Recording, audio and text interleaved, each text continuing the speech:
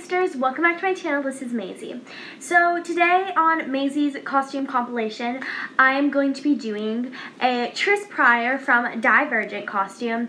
By the way, if my eyes look kind of like red and puffy, I was crying. All I'm going to say is Fred Weasley. Um, so yeah, and by the way, if my, um, if like my words aren't making sense in this video, it's because it's literally midnight. So yeah. Also, I am really excited because it's actually October now, so I'm not going to get like weird looks for doing Halloween videos. So yeah, for my makeup, what I'm doing is I just, I already have all my skin makeup on and stuff. So yeah, and I'm trying to really, I'm not trying too hard to mimic the shape of her face because she does have a very uniquely shaped face. So I'm just starting with my Morphe bronzer. This is in the shade Romance. And she does have, like I said, she has a very uniquely shaped face. So we're not trying to um, get it perfectly, we're just trying to replicate it. So I'm just contouring out my cheekbones. I apply it with one brush and blend it with another, by the way. Hence why I'm not blending it. So I'm just doing out the my like hollows of my cheekbones so that I can kind of get a little more height in my cheeks. I'm also contouring my nose just because her nose is a tad bit smaller than mine. Okay, so that is my contour, and then I also did my jawline, because everybody contours their jawline these days. So next, I'm going to put a little bit of blush on, just because she does have a nice rosy hue to her face. This is the Will Powder Blush and Preservance from the Balm Cosmetics. If you watch any of my videos, you know I love this stuff. So I'm just going to put that on the apples of my cheeks. I'm trying to get a little extra high, just because you did contour those cheekbones for a reason. And then, of course, blend it out with your buffer brush. So, yeah, highlighter, that is the highlighter I am using. It's from Estate Cosmetics. Not really sure what the name of it is, but I'm just going to be generous with my highlighter because, like I said, you did contour out your cheekbones for a reason. So, you just got to uh, put on some highlighter and then blend it out because you don't want to look like you just got pixie dusted at Disney World.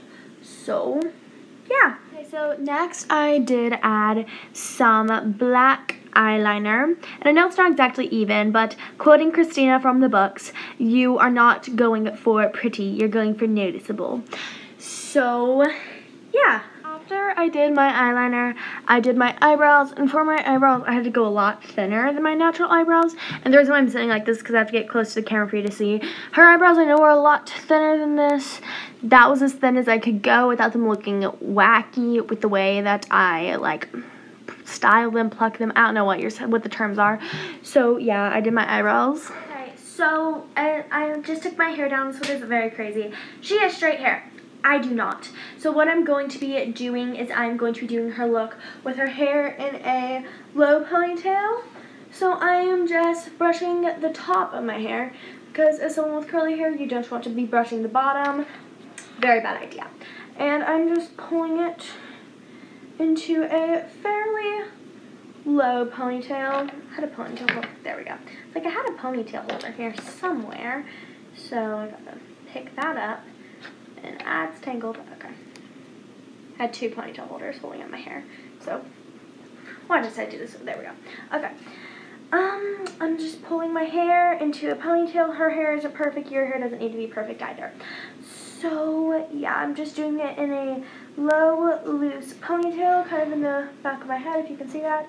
Ew, there's like a weird tease right there. Oh, yeah, I had to tease my hair to get it in a bun because it wasn't cooperating.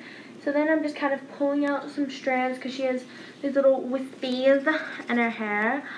So yeah, that is all you need to do with your hair. And as always, I add a little finishing touch. I added her three birds tattoo thing. I know that looks absolute rubbish. That is because I cannot draw. I, I am like Hermione, which if you watched if you've watched any of my videos recently, you will know that. By the way, does anyone know where it says in the books or movies, I don't care, that it says that Hermione can't draw? Because I am on Deathly Hallows, and I just read like the Battle of Hogwarts chapter. Very sad, yet at the same time, actually pretty great because I really ship Hermione. I don't know how you say it. I'm pretty sure I'm saying it wrong. So yeah, but I need to know where it says that, or is it just some head canon that someone came up with? But please let me know in the comments if you know, because I want to be able to relate to Hermione not being able to draw. So, yeah, well, fangirl rant, but you get the idea. So, yeah, that is my little tattoo finishing touch. Well, that is your complete Tris Prior look. You have your ponytail, your makeup, your out and your outfit, and then your finishing touch. So thank you guys so much for watching. Make sure to like this video and subscribe to my channel. Turn the notification bell. Comment down below, hashtag notification squad. Get shout out in one of my videos. Also, comment down below who you want to see for next week. I'm thinking of doing Hermione as well as some other people.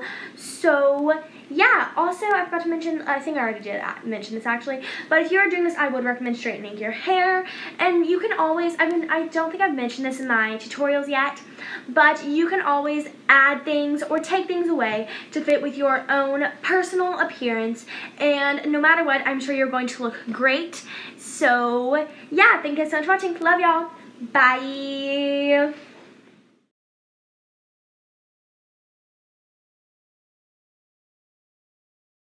Salut, je parle français. Yeah, that means hi. I'm talking in French.